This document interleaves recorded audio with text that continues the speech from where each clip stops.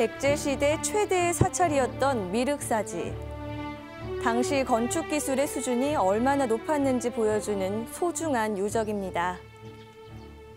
미륵사지 석탑은 우리나라 그 목탑에서 석탑으로 넘어가는 최초 탑이라고 이렇게 얘기를 하고 있는데 신증 동국여지 승람이라고 하는 책에 보면은요 이 탑을 동방지 석탑지최라고 했습니다. 동방에서는 최고의 높은 석탑이라고 그렇게 표현할 정도이기 때문에 예를 찾아볼 수 없습니다.